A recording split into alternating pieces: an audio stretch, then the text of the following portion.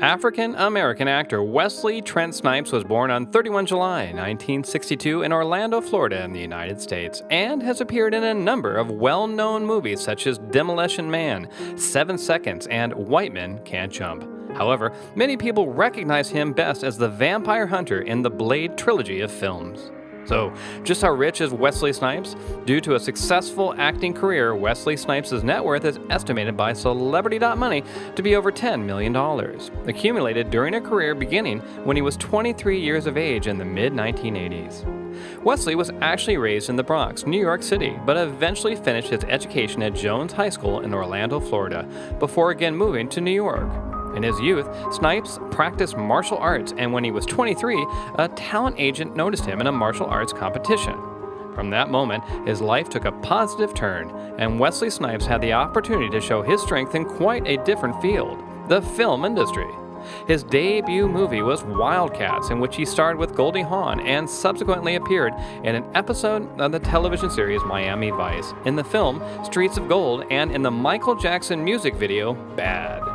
The film director Spike Lee saw the video and offered Snipes a few roles in his movies, and consequently, Wesley became more noticed and his net worth also was more noticeable.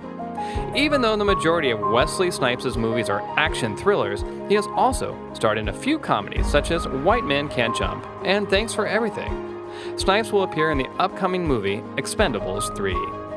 Wesley Snipes is not only an actor but also a film producer. In 1991, Snipes established his own production company, Amen Ra Films, and its subsidiary Black Dot Media. Moreover, together with his brother, Snipes established a security firm, the Royal Guard of Amen Ra, which offers protection to celebrities. As a result, Wesley Snipes' net worth has significantly increased. It is worth mentioning that while being a successful actor, Wesley Snipes has not neglected martial arts.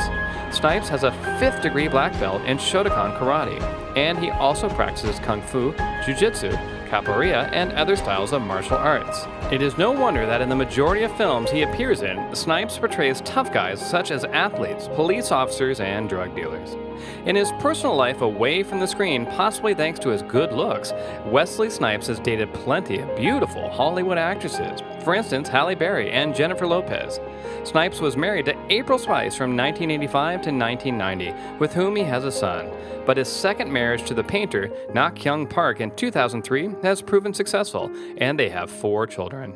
Despite his successful career and considerable capital, Wesley Snipes has had money related problems. The IRS discovered that Snipes had been avoiding paying taxes since 1996. In the period from 96 to 2004, the actor earned $38 million, but had neglected to pay taxes and even forged documents.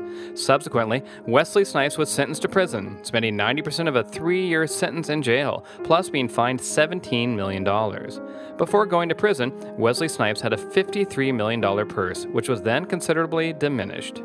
Despite money troubles in the past, Wesley Snipes is still wealthy. He owns a number of luxurious cars, big houses, and apartments, and he also owns the rights to the Blade trilogy.